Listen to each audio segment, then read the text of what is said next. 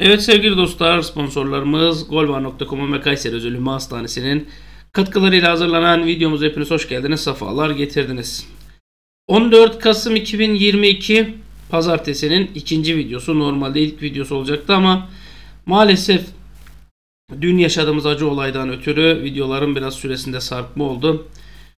E, vefat eden vatandaşlarımıza Allah'tan rahmet diliyoruz. Yaralı kalanlara da yani yaralı olarak kurtulanlara mı diyeyim e, yaralı olarak bu badireyi atlatanlara mı diyeyim onlara da geçmiş olsun dileklerimizi iletiyoruz. İnşallah tez zamanda sağlıklarına sıhhatlerine kavuşurlar. E, sosyal medyada birçok şey var. Kimisi diyor ki yaz tutalım hiçbir şey paylaşmayalım. E, kimisi de diyor ki aynı şekilde rutin hayatımıza devam edelim çünkü terörün istediği bu diyorlar. Yani terörün istediğinin ya da bu tip e, şeylerin istediği neyse onun zıttını yapmakta fayda var diyerek biz bu videoyu çekiyoruz arkadaşlar. Kadıköy Sokak ekibi olarak sizlerden de yorum, beğeni, abonelik gibi şeyleri bekliyoruz. İlk haberimiz Serdar Dursun'la ilgili. Serdar Dursun'a İtalya'dan sürpriz talip diye. Şimdi forma şansı azaldı. Hatta son Giresunspor maçında o kaçırdığı golden sonra forma şansı bitti. Ve Fenerbahçe'den ayrılması %100 olarak beklenilen Serdar Dursun'un ismi Alman ekibi Schalke ile anılıyordu. Fakat İtalya'dan da bir talip çıktı. Yani İtalya'dan Serie A'dan bir talip çıktı hem de. Ee, biliyorsunuz şans bulamıyor. Geçen sezon 33 maçta 15 gol attı. Eyvallah. Bu sezon sayılı maçta forma giyebildi. Ee, birinde ilk 11 başladı. Toplam hani çok bir süre almasa da e, 2 gol 2 asist kaydetti sanırım toplam olarak ama UEFA listesine adı yazılmadı. Liste kısıtlı. Şimdi bugün e, performansı tartışılan Cao Pedro bonservis verilerek alındı. Joshua King var. Batshuayi var. Hani bunların dışında bir de dikkat ettiniz mi biliyorum Valencia kariyer sezonu oynamaya başladı. Yani hepimiz biliyoruz. Dinamo Kiev transferi gerçekleşmemişti diyor. Evet Kiev istedi. Ama asıl Adana Demirspor istedi Serdar Dursun'u. Adana Demirspor çok istedi hatta. Tayyip Talha'ya karşılık verelim diye ama Serdar Dursun gitmedi. Biraz da taraftarın tepkisi ondan oldu. Uluslar Ligi'nde milli takımla öne çıktı. Şimdi Schalke istiyor. Hala Schalke 2 milyon euro vermeyecek şekilde istemeyi sürdürüyor. Bizim yönetimde ne kopardık o kar mantığında gidiyor. Devre arasında yani ben artık şunu söyleyeyim. Hatta uçak vererek söyleyeyim.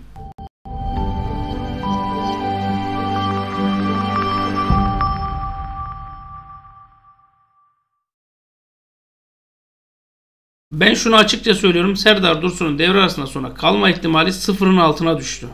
Çünkü bu kadar forvetten ha şu olur. Sürpriz bir ayrılık yaşanır. Sürpriz bir isim gider. Sistem değişikliğine gidilir. Denir ki aa bu sistem çok işe yaradı. Bunda devam edelim. Yani e, şu 43 44 günlük arada hani 43 günün bilmem kaç günü zaten gitti. Bu arada bir şeyler olursa olur ama zannetmiyorum. Ee, yani Spezia Serdar Dursun'u almak istiyormuş. Schalke'nin de avantajı var diyor. Ben söyleyeyim 2 milyon euronun üstünde bir para bekleyin. Serdar Dursun'un yolu açık olsun diyelim. Türk futbolunun 4 devi onun peşinde. Milli yıldız paylaşılamıyor. Galatasaray, Beşiktaş, Trabzonspor ve Fenerbahçe haliyle Türk futbolumuzun 4 devi. Bir ismin peşinde. Bu arada ara transfer dönemi 12 Ocak 2023'te başlayacakmış arkadaşlar. Ha iyi hocam ben diyor 12 Ocak'ta üye olurum. Vallahi siz bilirsiniz o kadar geç kalmayın. Çünkü üyelere özel duyumlar başladı. Yani çok çeşitli üyelik seviyelerimiz var. Siz istediniz. YouTube rica etti. Biz de 7,5 liralık üyeliği getirdik ama e, gördüğümüz kadarıyla bazı arkadaşların üye olmaya hiç niyeti yokmuş. Sadece ortalık karıştırma derdindelermiş. E, inşallah onların yorumuna ben denk gelmem. Hani inşallah denk gelmem onu da söyleyeyim. Neyse çok da karıştırmanın lüzumu yok. Şimdi biz transfer duyumlarına başladık. Üyelere özel videolara başladık. Üyelere özel duyumlara başladık. Yani herkese kapımız açık bilginiz olsun. Ama 12 Ocak dediğine bakmayın siz. 12 Ocak'tan önce biz Kasım ayında başladık.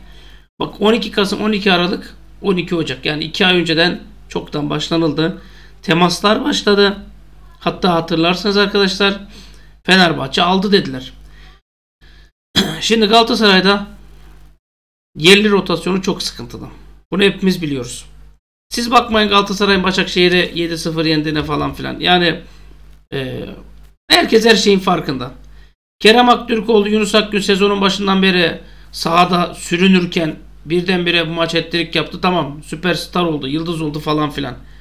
Bugüne kadar yararlanamadığın kişi bir maçta yıldız olduysa Serdar Dursun geçen sezon iki Rize maçında da ettirik yaptı. Hatırlatmakta fayda var. Şimdi Kerem Aktürkoğlu, Yunus Akgün, Barış Alper Yılmaz, Kazımcan Karataş, Emin Baryam, bir de Abdülkerim Parmakçı. Başka? Kim oynatacak? hani o bizim sorunumuz değil. E, Jesus'un eli kolu bağlandı yazmışlar habere. Merak ettim. Yani Gustavo Henrique, Serdar Aziz Atilla Salay, Luan Perez gibi 4 stoper var. Ancak Perez Henrique sakat. Savunma hattı sıkıntı. Üçlüden diye dönüldü. Şu an Süper Lig'de Dünya Kupası arası var. Gözler kimin üstünde? Bu dört takım kimi almaya çalışıyor? Kaan Ayhan. Arkadaşlar geride kalan 14 haftanın 13'ünde kadroya dahi giremeyen Kaan Ayhan'dan bahsediyoruz. Devre arasında Türkiye rotası olacak diyor. 28 yaşındaki oyuncu. Şimdi Okan Buruk'un arayıp bulamadığı isim diyor. Ee, yani en azından mesela Galatasaray alırsa Abdülkerim Parmakçı'yla birlikte arkalı önünde oynatırlar. Mantıklı. Fener alırsa hani Serdar Aziz ya da bu denir arkalı önünde oynatır. Beşiktaş alırsa Tayyip'den Kaan denir. Stoperden biri bu olur. En somut atılmadan Fenerbahçe'miş 6 milyon euro zorunlu satın alma opsiyonu istemiş en şey buymuş. Beşiktaş ısrarcıymış. Şenol Güneş çok istiyormuş. Yani Trabzon 3. yerli sorunu varmış. Abdullah Avcı'nın kalede Uğurcan savunmanın sonunda Eren Elmalı'yı sürekli oynatıyor. Üçüncü bir isim yok demiş. Yusuf Yazıcı Abdülkadir Ömür beklentilerinin altında demiş. Haberi çok kısaltıyorum. Çok uzun bir haber. Vesaire vesaire. Şimdi ben bir şey soracağım. Hani Kaan Ayhan Fenerbahçe'deydi. Hani kesin almıştık. Hani sayfalar boy boy paylaşıyordu. Ne oldu? Arkadaşlar herkesi takip ediyorsunuz. Herkesi takip ettiğiniz yetmiyor. Koşulsuz şartsız da inanıyorsunuz. Ben de merak içerisinde soruyorum. Ne oldu? Hani kesin aldıydı diye. ben size İtalyan'a ilgili ciddi bir haber vereyim. İtalyan devleri Fenerbahçe futbolcularını izliyor. Bakın Jesus geldi. Fenerbahçe futbolcularının hem piyasası arttı hem de Fenerbahçe uçuşa geçti.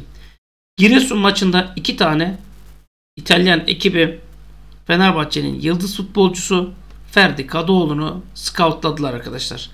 Napoli ve Inter. Bu muhtemelen sosyal medyaya da yansımıştır ama şu malum e, terör olayından sonra internetlerde sıkıntı olunca birçok kişi belki atlamıştır. Ferdi Kadıoğlu her iki takımın scouting yapan isimleri tarafından da tam not almış durumda. Piyasası zaten zirve yapmış durumda. Hani 18-22 milyon eurolar telaffuz edilmeye başlandı. Sağ kanatta, sol kanatta, sağ bekte, sol bekte her şekilde oynayabilen bir isim. Ve kulüplerin de talip olduğu gelen haberler arasında diyor haberde Jesus'un vazgeçilmezlerinden biri ee, yani 20 maçta görev aldı. Bir tane asisti var. Ama mesela Giresun maçında yaptırdığı penaltı bence asist gibi bir şey. Bir dönem o çok tartışıldı biliyor musunuz? Hani şeyler penaltı yaptırmalar asist sayılsın mı diye. Sonra yok denildi. E, hatta dünyada bazı ülkeler uyguladı diye biliyorum ben bu kuralı. Ama sonradan vazgeçildi. Ferdi Kadıoğlu için şunu söylüyorum. 16 milyon euronun altında hiçbir teklife satılmayacak. İçiniz rahat olsun. Hocam 16 teklif gelirse satılır mı? Yani 16'nın altına satılmayacak. Ben ona garanti veririm. 16 gelirse satılır mı? Bir şey diyemem ona. Ama 16 gelirse satılmalı mı? Ben devre arasında hiçbir futbolcu mesela Ferdi'nin, Crespo'nun, Salah'ın satılmasını doğru bulmuyorum. Hani şunu satan şampiyonluğu satar diye bir kelime var ya, bir cümle var ya daha doğrusu. Ha, bunlardan birini satan şampiyonluğu satar. Ben ona katılıyorum. Devre arasında satan. Yazın sat. 50 çeşit isimle doldurursun. Muhtemelen gelecek sene yabancı serbestliği de geleceği için çok rahat hamle alanın oluşacak. Yani elin rahatlayacak. Ama bu dönem sıkıntı. Ee, Yağız Sabuncuoğlu'nun bir duyumu var. Fenerbahçe Adana Demirspor forması giyen Samet Akaydın'ı e, listesine aldı durumunu yakından takip ediyor diye. Şimdi değerli arkadaşlar saygı duyuyorum hepinize. Transfer takip ettiğiniz isimlerin hepsine saygı duyuyorum. Lafım yok. Samet Akaydın lafa geldi miydi? Bak lafa geldi miydi mesela Galatasaraylılar diyor ki Emre Belözoğlu Galatasaray efsanesidir diyor. Niye? Fener'de daha az kupa kazandı. Nasıl efsaneler oluyor?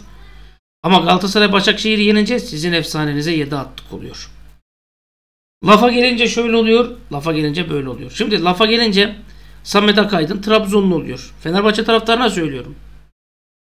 Lafa gelince Trabzonlu oluyor. Yalansa yalan değil.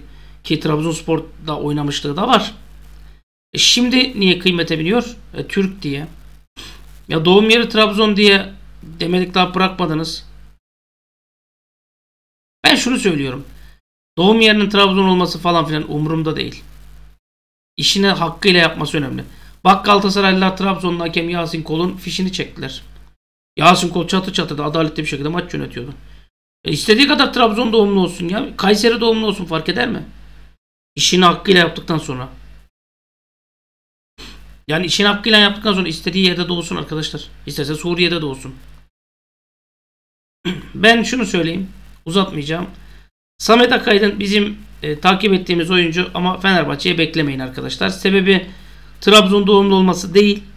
Sebebi yaşından dolayı kulübünün bırakma is, bırakmama isteğinden talebinden dolayı bilginiz olsun. Samet Akaydın'ı beklemeyin.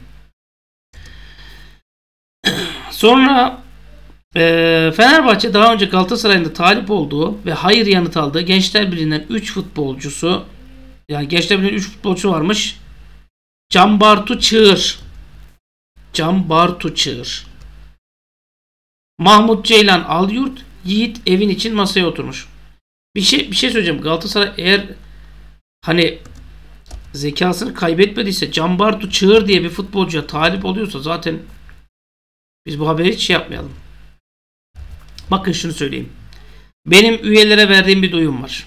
Yaklaşık herhalde baya baya oluyor. Sonrasında bir hatırlatma duyumum var. Dedim ki Arda Güler. Biz Arda Güler'in bonservisinin %20'sini almak için teklifler sunuyoruz. 2 milyon euro versek tamam olacak ama 1.1 verdik. Önce 1 verdik. 1.1'e yükselttik. 1.2 1.3'e kadar çıktık dedim.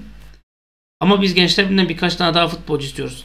İsmi Arda Güler'e benzer bir futbolcu daha istiyoruz mesela. Bu üç arkadaşı bilmiyorum. Bu üç arkadaş altyapı ismidir.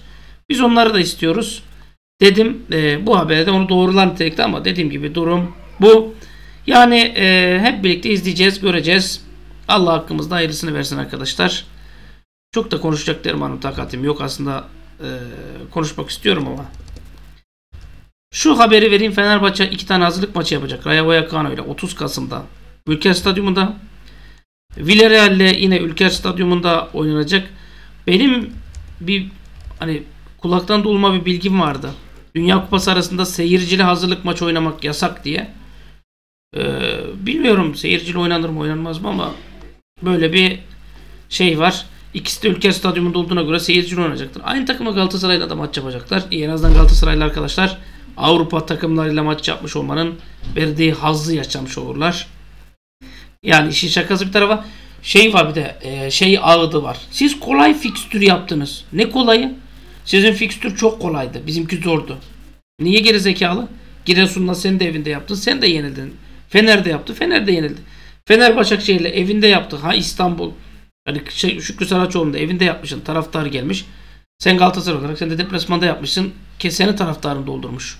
Yani İstanbul'la Fenerbahçe gitti Atatürk Olimpiyat'ta yaptı. Sen bir sonraki maçta evinde yapacaksın. Hangi avantaj? Fener Beşiktaş'tan oynamış. Adana Demir'le oynamış. Biriyle deplasmanda, biriyle evde. Sen de biriyle deplasmanda, biriyle evde oynamışsın.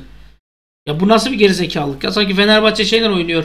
Sürekli Giresun'dan oynuyor. İşte Ümraniye'yle oynuyor da sen Beşiktaş'tan Trabzon'a oynamak zorunda kalmışın gibi oluyor. Ya şu gerizekalı gerizekalı laflardan bir çıkın ya. Son olarak da Corinthians'ta Vitor Pereira dönemi sona ermiş. Başkan açıklamış. Sözleşmesi bitmiş zaten yenilememişler. Şimdi tek korkum bomba patladı. Jesus gelmek istemiyor. Pereira geçen seneden tecrübeli scouting'i iyi Fenerbahçe'ye gelebilir korkusu. Allah hayırlısını versin arkadaşlar.